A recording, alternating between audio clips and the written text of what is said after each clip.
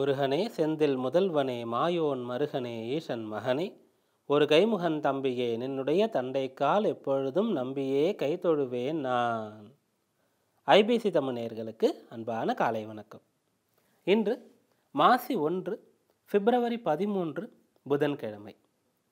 பனிரெண்டு ராசிகளுக்கும் உண்டான ராகு கேது பயிற்சி பலன்களை இப்போது பார்க்கலாம்.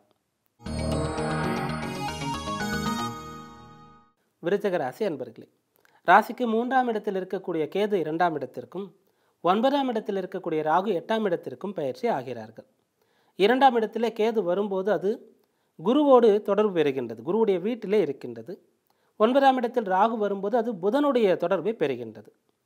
இப்போது நாம் இந்த இரண்டு எட்டாம் இடங்களை புரிந்து கொள்வது குரு புதன் இந்த கிரகங்களுடைய காரகத்துவங்களை புரிந்து கொள்வது இரண்டு எட்டாம் இட ஆதிபத்தியங்களை புரிந்து கொள்வது இவற்றை செய்துவிட்டால் இந்த இரண்டு எட்டிலே கேது ராகுக்கள் வரும்போது நற்பலன்கள் நடக்காது என்ற ஒரு நிலையை தாண்டி கெடுபலன்கள் நடக்கும் என்ற ஒரு நிலையிலிருந்து விடுபட்டு நற்பலனை அடைய முடியும்.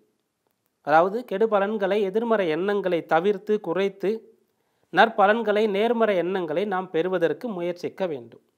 இரண்டாம் இடம் கேது கேது இருக்கக்கூடிய வீடாக வருகின்றது. அது குருவுடைய வீடு. குரு என்றால் நிதானம் பொறுமை. எட்டாம் இடம் ராகு. அது புதனுடைய வீடு. புதன் என்றால் வேகம். அதிபுத்திசாலித்தனம் நுண்ணறிவு. அதனால் நாம் இந்த எட்டாம் இட ராகுவினால் நமக்கு வரக்கூடிய அந்த வேகத்தை குறைத்து கொள்ள வேண்டும்.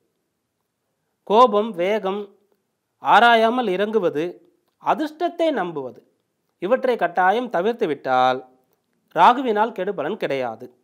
எட்டாம் இடம் புதையலை குறிக்கும் அதிர்ஷ்டத்தை குறிக்கும் மிகப்பெரிய ஒரு வளர்ச்சியை குறிக்கும். விபரீத ராஜயோகம் என்று சொல்லக்கூடிய ஒரு நிலையை குறிக்கும். இவற்றையெல்லாம் நாம் எதிர்பார்க்காமல் இப்படி நம்மை யாராவது தூண்டினாலும் இப்படி சந்தர்ப்பம் அமைந்தாலும் அதற்கு ஆசைப்படாமல் நம்முடைய தகுதியை உணர்ந்து நம்முடைய நிலையை புரிந்து கொண்டு படிப்படியாக வளர்வதுதான் நிரந்தரமான வளர்ச்சி அதுதான் நமக்கு நிலைக்கும் என்பதை புரிந்து கொண்டால் எட்டாம் இட ராகுவினால் கெடுபலன் ஏற்படாது. இரண்டாம் இட கேது என்று சொல்லும் பொழுது இரண்டாம் இடம் குடும்பஸ்தானமாக இருக்கின்றது. வாழ்க்கை துணையை சரியாக புரிந்து கொள்ளக்கூடியவர்கள் குடும்பத்தை பிரிய வேண்டிய அவசியம் இருக்காது. அதே போல சரியாக பேசுபவர்கள் அந்த பேச்சின் மூலமாக பிறர் அவரை தவறாக புரிந்து கொண்டு அவரிடத்திலிருந்து பிரிந்து போவதை தவிர்க்க முடியும்.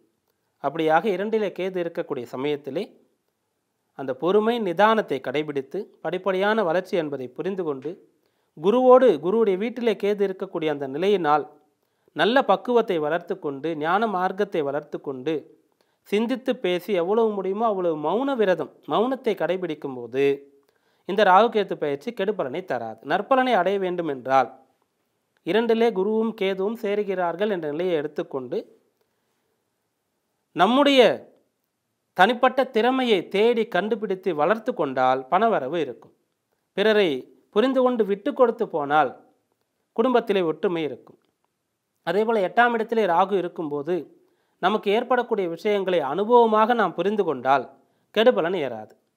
பிறர் நமக்கு ஒரு தீங்கு இழைத்தாலும் கூட அவர் எதிரியாக கருதி அவரை எப்படியாவது பழிவாங்க வேண்டும் என்ற நிலையை விட்டு இவரால் இதை நாம் புரிந்து கொண்டோம் என்று நாம் அதை நல்ல விதமாக பார்த்தால் நமக்கு கஷ்டங்கள் நேராது.